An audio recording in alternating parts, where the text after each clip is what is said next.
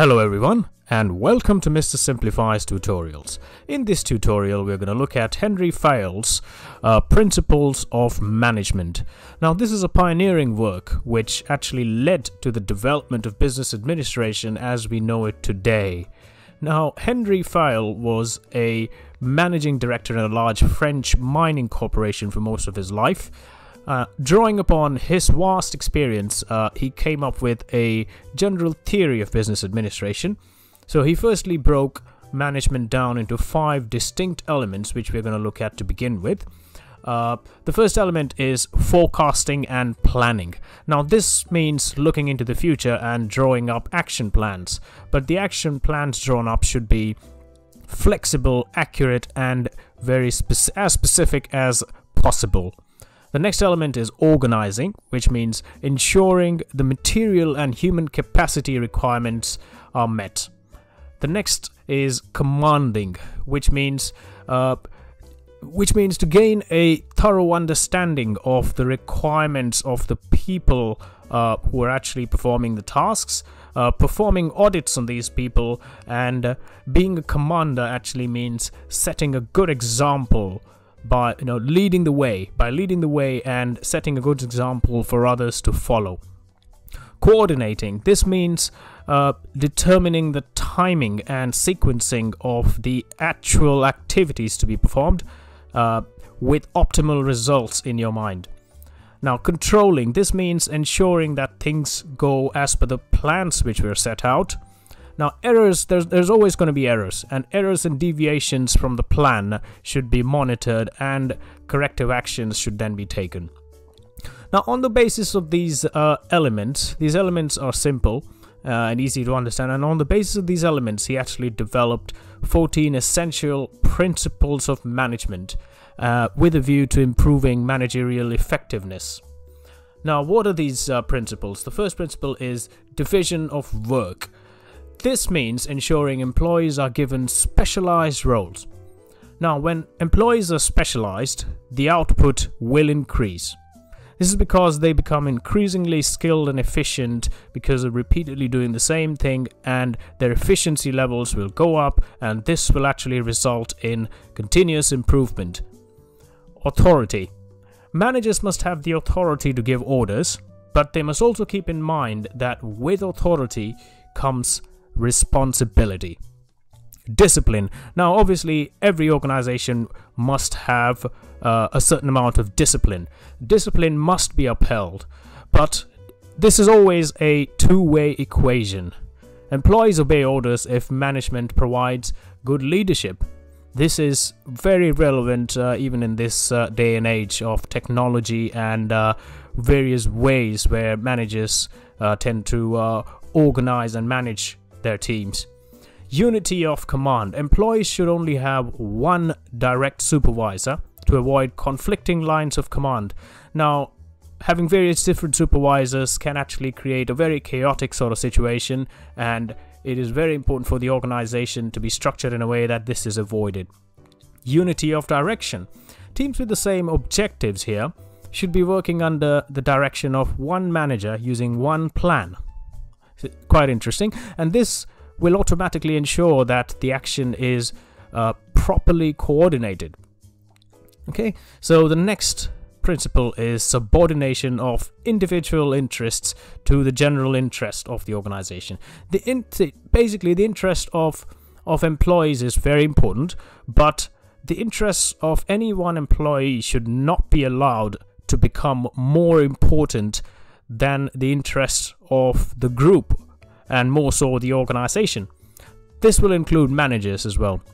The interests of organizations should always come before any individual interest. Now, if you want to look at an example here now in the in this situation where we've got a global pandemic and a lot of companies are are struggling, uh, the companies that are faring uh, reasonably all right and will continue to fare all right are the are the are the companies are the organizations where the management has been uh, looking at the requirements of the uh, of the organization before their own requirements you see organizations being stable is one of the most important things in business Now, the next point is uh, next principle is remuneration. Now, employee satisfaction depends on fair remuneration for everybody. This includes financial and non-financial compensation. So, remuneration is also uh, compensation. Sorry, it's a bit of a tongue twister for me. uh, steps should be taken always to encourage employee productivity and prevent abuse of any compensation system. So, the system here should be designed in such a way that employees should receive fair amount of compensation, but the compensation should be should be dependent on the productivity provided by the employee. Centralization. This refers to how close employees are to the decision making process, really. It is important to aim for a balance here. Balance is the key word here. Uh, the next principle is scalar chain.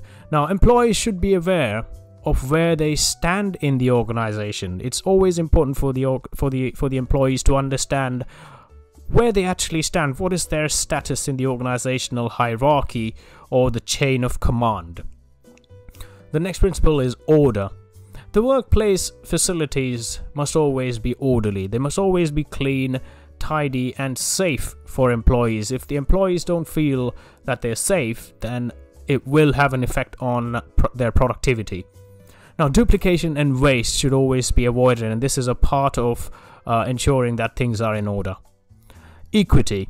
Managers should be fair to all members of staff at all times discipline should be maintained uh, and discipline should be enforced when necessary uh, but but it's also important to act with kindness and and maintain a balance between you know kindness and justice okay now these are big words thrown around here but it's the most important thing is uh, is to understand that uh, there must be a discipline that the that the employees are expected to follow and if that discipline is not maintained, if if people don't fall in line, then uh, there has to be justice, but it has to be in a balanced way. You can't basically just hire and fire uh, personnel. And that's the next point, really. Stability of tenure of personnel. Now, managers should, should strive to minimize employee turnover. Personnel planning and organizational stability should always be prioritized. So, basically, point number 11 and 12 kind of go hand in hand with one another. Now, the next one is initiative. Employees should always be given the necessary level of freedom, really, to, to create and and implement their plans. There should always be a uh, a chance, uh, an opportunity for employees to actually exercise their their free will in terms of their creative freedoms. Initiative can be a great source of organizational growth. Now, the last point is esprit de corps, which essentially means that organizations should strive to promote team spirit and unity. If people are united, their morals are high and they tend to enjoy their jobs, and this, this automatically leads to a higher level of employee satisfaction and it ultimately leads to higher productivity levels. Okay, so those were the principles. Now it's it's very important to understand why Henri Fayol is uh, quoted as one of the founding fathers of the administration school schools that we have, the administration schooling system that we have today. He was one of the first authors to look at organizations top down to identify management as a process and then to break it down logically, really. Now, this study laid uh, the foundation of management and business administration training as we know today because uh, he has basically uh, taught us to look at management in a way where it's a process, it can be looked at top down, and the most important cogs in the wheel are right at the top, basically.